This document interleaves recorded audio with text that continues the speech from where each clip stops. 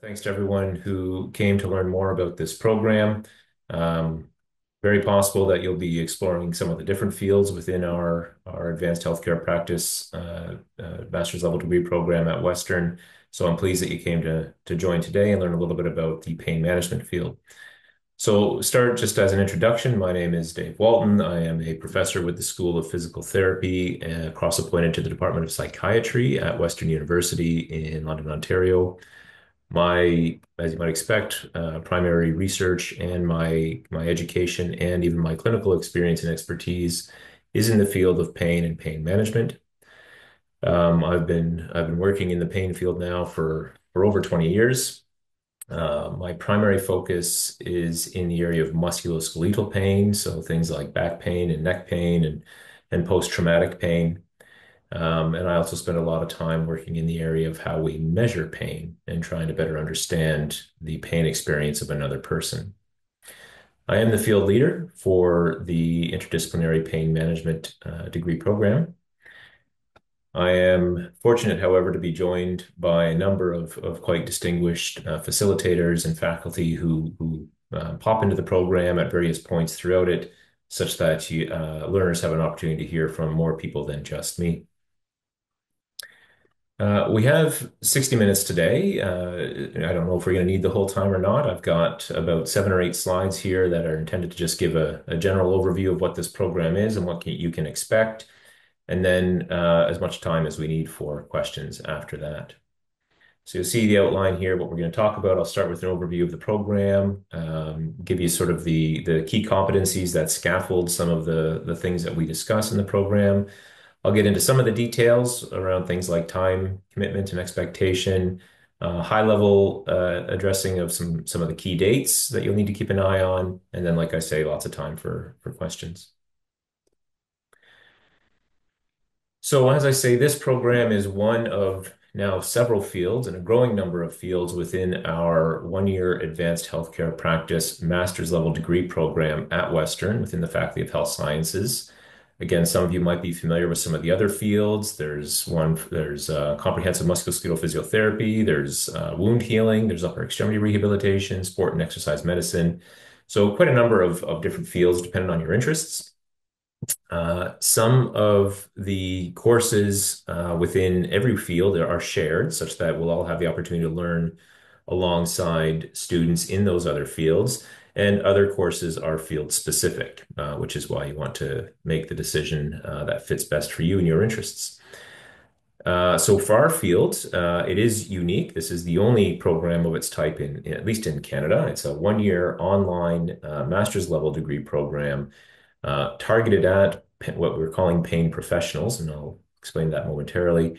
And specifically, it is interdisciplinary. So the goal is that uh, we have an opportunity to learn with, from, and about others who might see the field of, of pain and pain management and all of the things that go alongside that through different sets of eyes.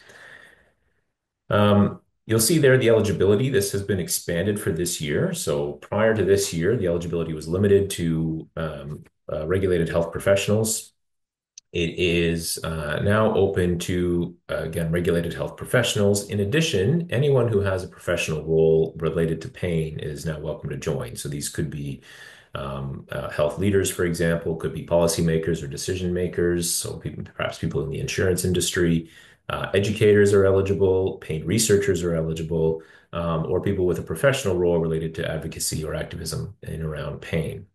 Uh, the, the part of the application process will be to demonstrate uh, whatever that link is. Uh, what we what we don't want here is that this is a um, a program where where you know people in pain are coming to sort of find solutions. This is really a, a program dedicated to um, pain scholarship and and becoming uh, stronger leaders in uh, in the understanding and the application and implementation of good pain related science. You can see sort of the, broad program goals here. We really do our best to uh, integrate aspects of real world impact here. Uh, we don't want this to just be sort of another degree that you hang on your wall. Uh, so a lot of the learning within the program is is competency based. Uh, so that will be um, actually doing things, um, creating knowledge, creating products that can um, hopefully be implemented to help people in pain in your communities. Uh, we are hoping that we, uh, through the program, we're facilitating the development of leaders. Um, so those who go through the program are leaders and person-centered partners in pain management. And again, that need not be direct um, patient care, um, but certainly, I mean, pain management, as I'm sure you can all appreciate, integrates so many different different things, as I say, from leadership through education, research, advocacy, and direct care.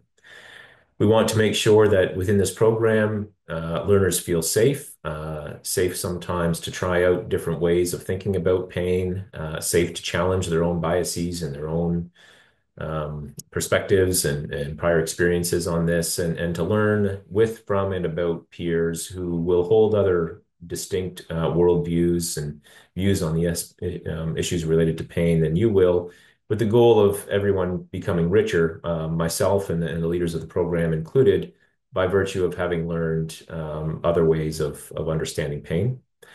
There's a strong emphasis on critical thinking within this course and this program, which I think in today's sort of post-truth world uh, feels increasingly important. And so, uh, again, we we are doing our best to enable the development of people who know how to not only read, let's say, research literature or, or lay literature, but also to appraise it for its trustworthiness and determine whether or not it's actually something that needs to be actioned. And the other sort of undergirding focus here is some some personalization of the learning journey, uh, such that not everybody will take the exact same journey, but we should all still end up at the same point. The specific criteria I've got here, I've actually just taken directly from the program website, so um, I, I, needn't necessarily go through too much detail here. You can find that online if you wish, but you'll you'll see some of the high level bits. So you do require at least an undergraduate degree from a recognized university. Um, when you say advanced computer skills, you ought to be able to, for example, know how to use Zoom, which if you're here today, you know how to do that. Um, but uh, you know, understanding um, you know, ideally, you're not someone who's scared away by uh, by too much technology, for example. Uh, you do require two references. Um, if you've been, if you've graduated from university within the past five years, one of those references will need to be an academic reference um, and at least one professional reference. You will need, if you're coming from a non-English uh, first country, you'll need to demonstrate English language proficiency in both oral and written. And again, there's information on how to do that on the website. And as I've said already, you'll need to be a, a licensed and regulated health professional or hold a professional role related to uh, leadership in pain management.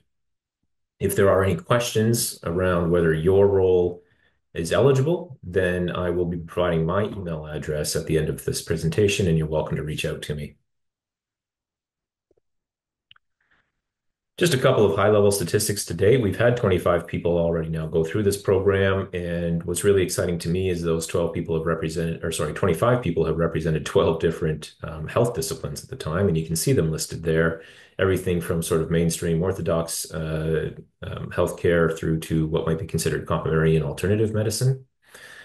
We've got two papers published on the program. I'll make sure that these links are shared uh, afterwards if you're interested in exploring some of the experiences of the first cohort to go through this. Now, that was uh, six years ago now, but you're welcome to explore those. We have had one of our uh, our prior alumni publish their paper from their uh, capstone project, which I'll talk about in a minute. So there is an opportunity here for those of you who might have an interest in, say, building a CV that demonstrates publication. There is an opportunity to pursue that.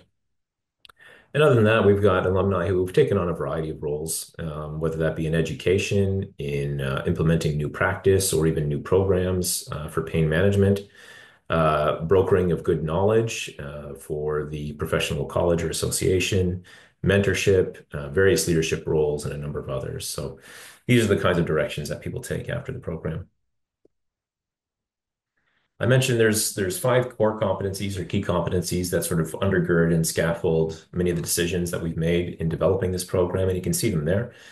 As you might expect, pain expertise, of course, is is one of the central one. We'd expect that people come out of the program having a better and stronger understanding of pain, what it is, what it isn't, how we can know it, and how we cannot know it, uh, than when they came in. But there are four others that have been deemed important uh, competencies for being effective in any kind of professional pain-related role. So those include empathic reasoning, interdisciplinary collaboration, critical thinking, and then self-awareness and reflexivity. And those who are in the program will see how those competencies are kind of embedded within it uh, as we go through. And so, again, coming out on the other side, our goal is not only to have sort of people who have developed higher level understanding and expertise in pain, but also uh, been able to demonstrate each of those other four competencies.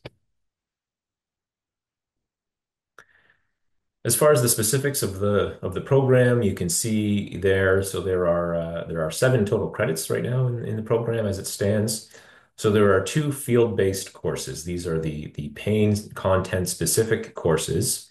These are uh, unique to our field. So those in, in any of the other uh, advanced healthcare practice fields are not eligible to take these two courses.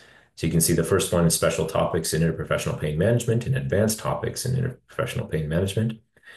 Um, if anyone's interested, I have course outlines. Um, I'm, I'm, working on on revising those now, but I can share the ones from prior years just to give a general sense of the type of content that's covered in those. I also mentioned that there are two courses that are calling them program wide. So students in all of the AHCP fields uh, take these courses together. So one of them is a critical appraisal of literature course, and the other one is currently called advanced professional practice.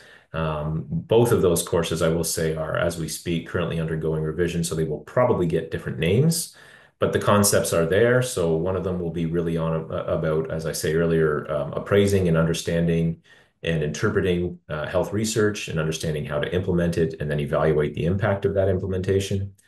And then the other one is going to be around sort of broad leadership um, and advanced practice um, skills and competencies. Students in our program will also choose uh, two elective courses from a list that is uh, I've linked to there. There's a number of, of courses. These are all online asynchronous courses. And uh, again, I'll make sure that you have the, the, slides here so you can access that uh, that link. Um, there's at least I want to say 12 or 14 different course options there now, so you'll need to select two of those. And then finally is a capstone project.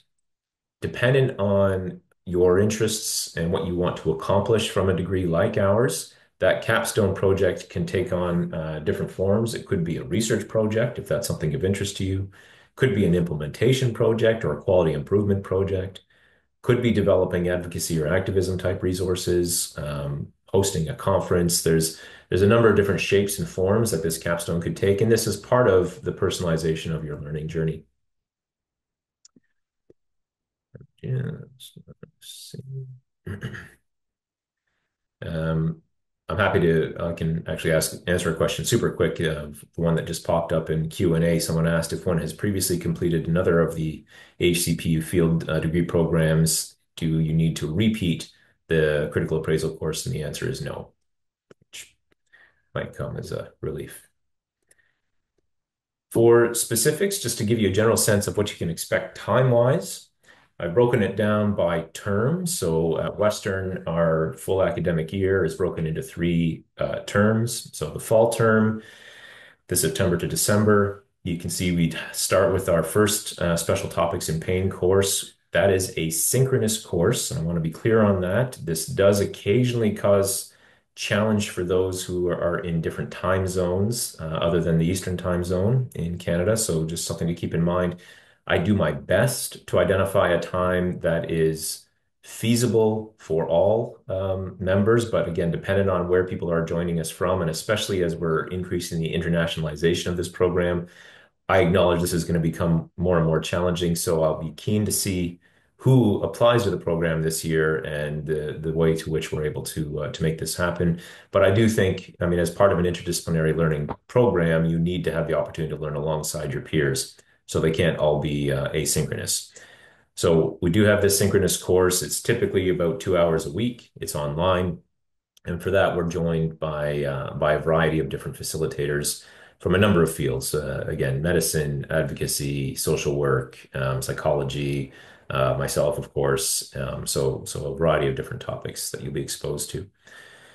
Also in that first term is the critical appraisal course. Now that one is largely asynchronous. Uh, the now again, this is being revised right now, so anything I say take with a slight grain of salt. But uh, in the past, the course manager for that has held live sort of tutorial sessions that you could join if you wanted.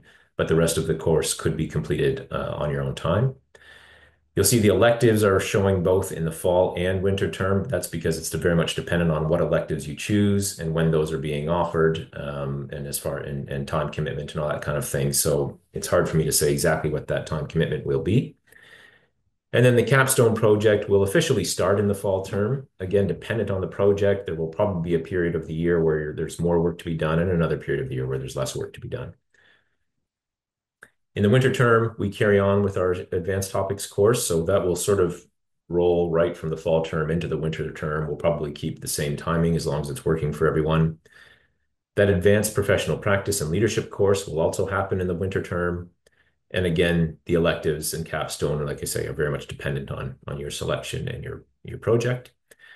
What that leaves then for the summer term really is, is a focus on the capstone project, wrapping that up, um, creating the final product, which is most commonly a written product of some type. And there will be a presentation day for the capstone projects in July.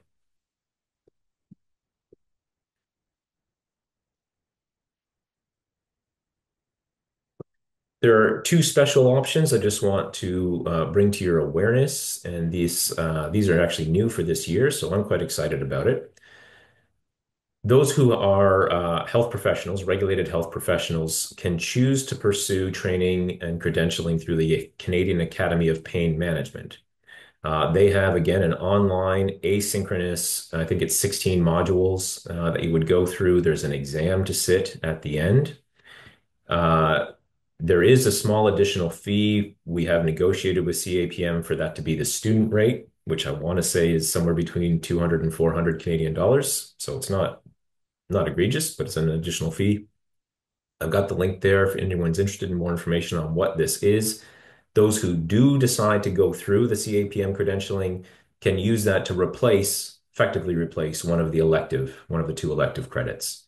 So then you would, if you were to do that, you would only need one additional elective credit. The other option, special option for those who might be interested, especially those in more leadership roles, is the Certified Healthcare Executive Credentialing. And again, I've got the link there where that uh, explains a lot more information on it than what I can, I can describe. For those who want to go through that, the biggest change would be for the capstone project, but it will also affect uh, one or two of the courses that you take. Um, not, not the field specific courses, but some of those others. Um, it will affect that.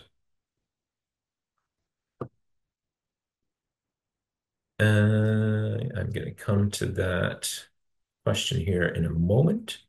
I'm almost through the slides. Uh, as far as key dates to keep in mind, so the application portal is actually open now. Um, so you can start you can start to prepare an application anytime. Uh, I've got the link to the website here on the next slide.